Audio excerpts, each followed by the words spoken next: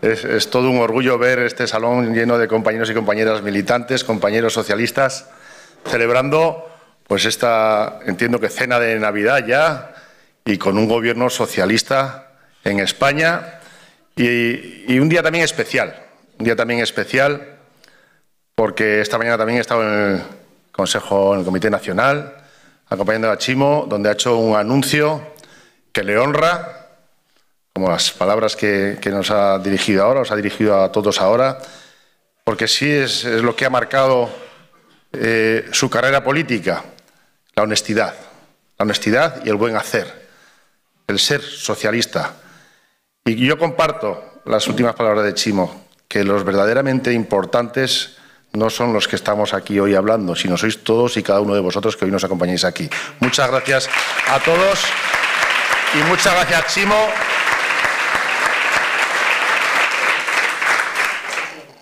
Hoy te agradecen muchos valencianos y valencianas, incluso muchos que no te votaron. Seguramente hoy estarán arrepentidos. Y agradecen todo el trabajo que has hecho durante estos ocho años al frente de la Generalitat.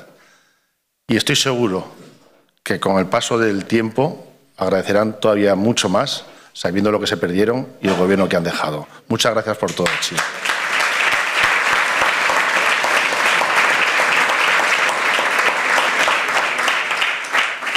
Y gracias, esta vez sí, a Alejandro, a Alejandro Soler, viejo amigo de hace ya unos años, porque es cierto que han sido muchas las invitaciones que me ha hecho para poder acompañaros y la verdad pues que es todo un honor venir aquí y, y acompañar a los compañeros y compañeras de, de, la provincia de Alicante, también otras provincias.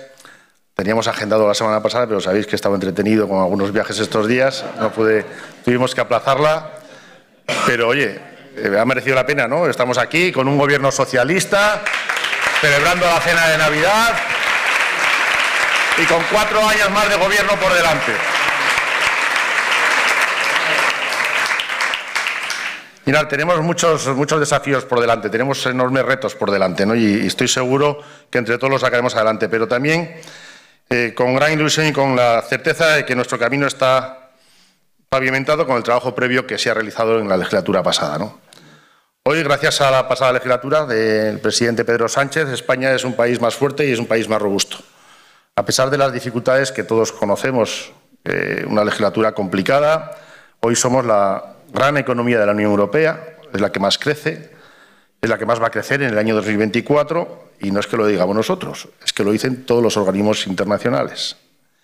Y tenemos además, aún sigue siendo alta, pero tenemos una de las inflaciones más bajas, tenemos la energía más barata, tenemos unos niveles de inversión extranjera récord, los mejores datos de empleo de nuestra historia, además con mejores sueldos y mejor calidad eh, laboral tenemos dos millones más de personas empleadas que cuando gobernaba el Partido Popular.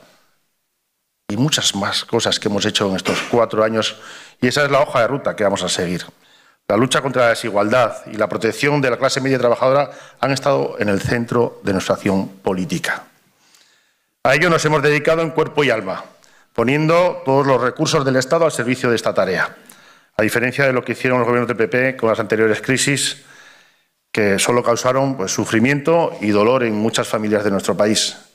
Hemos construido convivencia, logrando hitos históricos, como los 140.000 millones de los fondos europeos para un ambicioso plan de recuperación tras la pandemia y hemos lanzado el mayor impulso reformista en los últimos años, los 140.000 millones que recordéis que iba el Partido Popular a Bruselas a intentar que no vinieran a España. Hay que ser cafres para ir a Europa a que a tu país no vengan nada más y nada menos que 140.000 millones de euros. Y todo esto lo hemos conseguido, como sabéis, en medio de unas grandes adversidades, como fue el COVID, como fue el volcán en, Canarias, una guerra cuyas consecuencias, pues desgraciadamente, aún persisten en Europa, y una oposición lanzada a la deslealtad de Estado y secuestrada por la ultraderecha con la que ha patado a lo largo y ancho de España. A eso nos hemos enfrentado esta legislatura. Y ahora tenemos por delante cuatro años más. Y toca consolidar todo lo conseguido en la legislatura pasada. Seguir avanzando y seguir trabajando por el interés de todos y cada uno de nosotros, de los españoles. Vamos a por cuatro años más de estabilidad, de convivencia y de progreso, con un gobierno bajo el mandato de Pedro Sánchez. Pedro Sánchez que bien sabe todo el mundo que es robusto, que es solvente, como es el gobierno suyo, con capacidad y valentía necesaria para realizar tres cosas fundamentales. Trabajar una legislatura de avances progresistas, abrir una nueva etapa en la que la política sea la herramienta, que sea la herramienta de la resolución de los problemas, construir un dique frente a las derechas, porque no vamos a permitir, no vamos a permitir ni un paso atrás en derechos conquistados.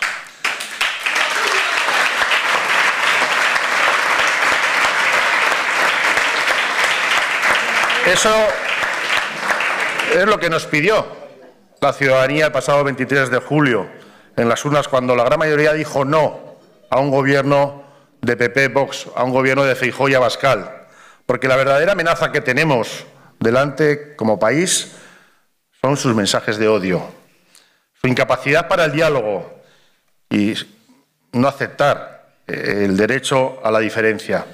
La verdadera amenaza de nuestro país es un PP entregado a la ultraderecha, a la radicalidad, con un discurso secuestrado y que se niega a cumplir ya por cinco años el mandato que nos manda la Constitución de renovar el Consejo General del Poder Judicial.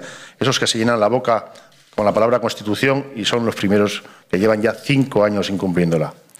Con la estrategia del Partido Popular y el PP, su discurso de odio erosionan las democracias, recortan derechos, atacan la convivencia y promueven el retroceso.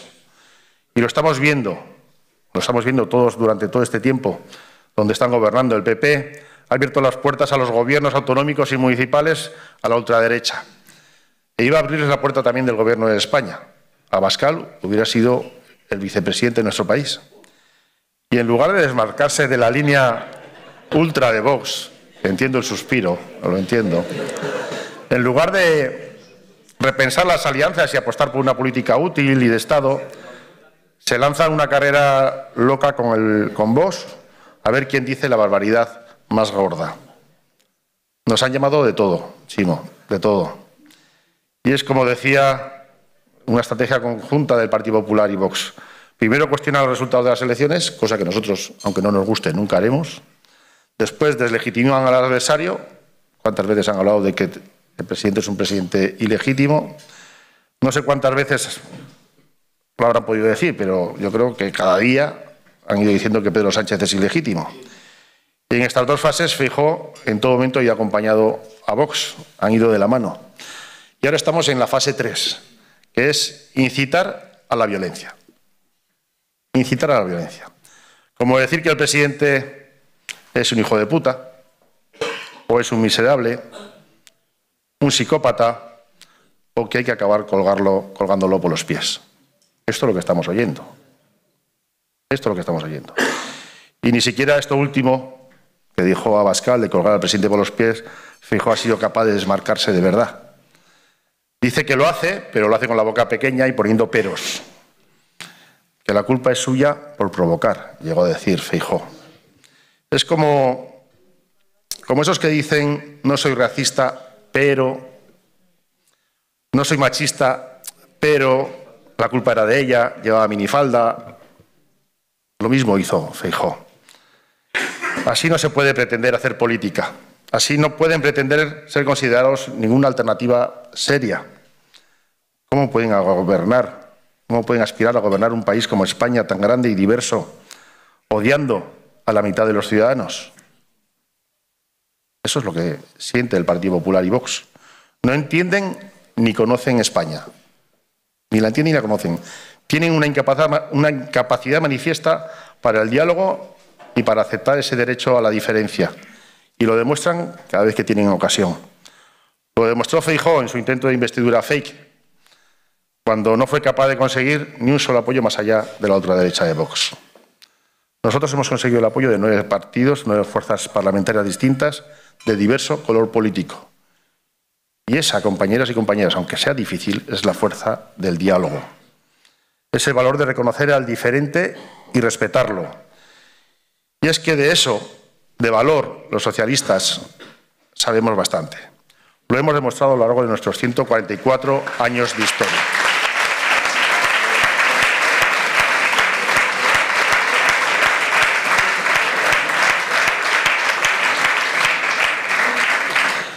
Hemos pagado con la muerte, con la cárcel,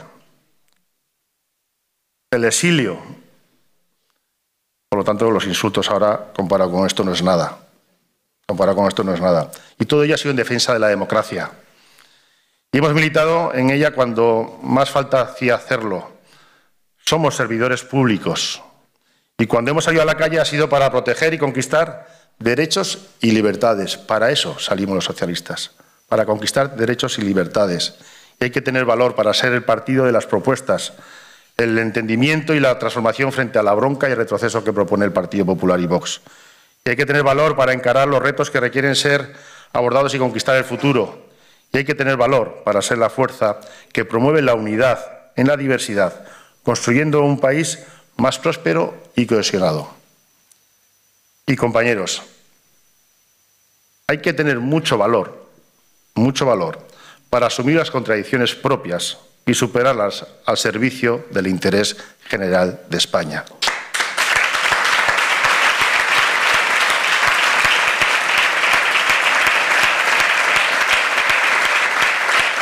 Porque no nos olvidemos, ha sido así, superando contradicciones propias. Es como se han conquistado los grandes derechos y como las sociedades han seguido avanzando. Y eso, valor, es lo que le pedimos también al Partido Popular. Valor para reflexionar, para mirar de frente lo que tiene al lado, en lo que se está convirtiendo y que pongan de una vez por todas freno. Ya han pasado las elecciones. Ya han pasado las elecciones. Hay un nuevo gobierno para los próximos cuatro años. Toca, como decía, trabajar por el interés general. Y el Partido Popular debería abandonar la política de tierra quemada y empezar a hacer política de verdad. Tendemos la mano al señor Feijó para que supere de una vez el shock del resultado electoral del 23 de julio. Que sea capaz de dialogar desde la crítica y la discrepancia y llegar, llegar a acuerdos de Estado que son necesarios para nuestro país. La crítica y la protesta son legítimas, pero no son las mentiras, la violencia, el señalamiento o la incitación al odio. El acoso reiterado que hemos sufrido las sedes y las casas del pueblo del Partido Socialista ni es pacífico ni es democrático. Hablar de fraude electoral, de golpe de Estado, de dictadura, incluso de derramamiento de sangre, ni es pacífico ni es democrático. Llamar miserable enfermo, hijo de puta presidente, pues tampoco ni es pacífico ni es democrático. La discrepancia es una de las bases de la democracia, pero también lo son el acuerdo y el diálogo. Quien renuncia a ellos está renunciando a la política y queda pues inhabilitado para cualquier intento de gobierno serio. Sin negociación, con sillas vacías, como estamos viendo ahora, que eh, no se quiere reunir Feijóo con el presidente, lo único que se evidencia el señor Fijó es su incapacidad. El señor Fijó tiene que ser capaz de ofrecer algo más que una vasilla vacía a los españoles. Hasta tres fechas, como decía, le ha ofrecido el presidente Sánchez al gobierno eh, del presidente Sánchez a Fijó para reunirse antes de que acabe el año. Tres fechas para abordar, pues, por ejemplo, la financiación autonómica o la renovación del Consejo General Poder Judicial, y a todo está respondiendo con excusas y negativas. Pero es que no entienden que no se pueden poner condiciones para cumplir la Constitución. No lo entienden. Ni siquiera se vienen a acordar la eliminación del término disminuido de la Constitución. Pero lo peor de todo es que no les da vergüenza. Es que no les da vergüenza. Fortalecer la convivencia democrática nos concierne a todos. ¿Por qué tiene miedo el Partido Popular a negociar? Nos deberíamos hacer esa pregunta y hacérsela al Partido Popular. Les pedimos que abandonen la ira y el odio y vuelvan a la política. Y si no saben hacerlo, les doy un consejo. Asómense a la España real. Salgan a la calle y vean la España real. No es esa cosa pequeña y estrecha en la que están convirtiendo sus manifestaciones y, no es esa minoritaria en la que se reúnen unos pocos todos los fines de semana para ir a protestar o para rezar el rosario delante de las sedes del Partido Socialista. España es mucho más. Y la ira se combate, como he dicho, desde esa España real, con su pluralidad, su tolerancia y su diversidad. Y esa es, es por esa España, por la de verdad, que tenemos por delante una agenda de transformación, una agenda de avances en derechos sociales, de consolidación de las políticas que hemos puesto en marcha y ha estado enumerando vuestro secretario general provincial, Alejandro, en su discurso. Y a ello vamos a seguir avanzando y vamos a seguir dedicándonos con ahínco. Porque la encrucijada en la encrucijada somos el baluarte, la única fuerza que permanece cuando todos los demás se rinden o vacilan. Hoy, una vez más, debemos asumir esa responsabilidad, aunque nos toque hacerlo en solitario, por la deserción de otras fuerzas cada vez más incapaces de resistir ese avance de la ultraderecha. Desde cualquier rincón de este país, los socialistas seremos garantes de la convivencia y la defensa inquebrantable de los derechos. Somos la barrera, sois la barrera contra las políticas regresivas de la derecha, de sus recortes y el desmantelamiento de los servicios públicos. Tenemos por delante un momento desafiante. Y esos retos son nuestro motor para seguir abriendo camino a esa España próspera, cohesionada y moderna que queremos y hoy ya vislumbramos. Hoy, como he dicho al principio, se ha anunciado un congreso extraordinario en el PSPB.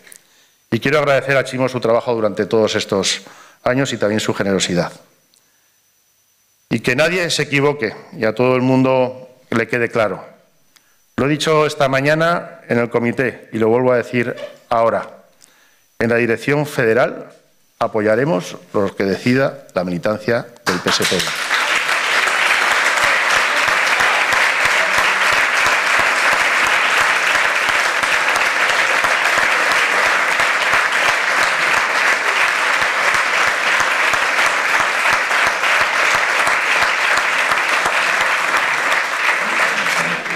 Sois la segunda federación del Partido Socialista Obrero Español. El reto que tenemos por delante, que tenéis por delante, es enorme. Los reaccionarios, lo he dicho esta mañana también, están ahí. Y el 2027 está ahí. Y ese es nuestro objetivo, volver al gobierno de la Generalitat en 2027. Así que, compañeros y compañeras, muchas gracias por todo, felices fiestas y disfrutemos además hoy de esta excelente compañía de todos y cada uno de vosotros y esta excelente cena que nos habéis preparado. Muchas gracias.